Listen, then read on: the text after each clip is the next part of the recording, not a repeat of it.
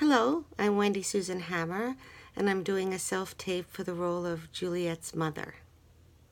I'm five foot two inches. Nothing. You'll get into college that works for you. How is anyone good at anything?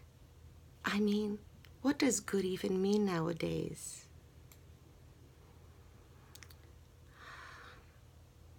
Singing was the one thing people told me I was good at. After all the time I put into it, I realized it wasn't about the notoriety. Oh, no, thank you.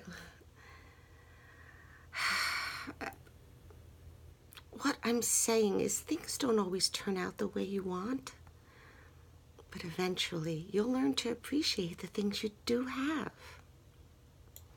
Thank you, Wendy Susan Hammer. Obviously, I didn't ever read her. I'm sorry. But I hope that's the personality of the mom. Thank you.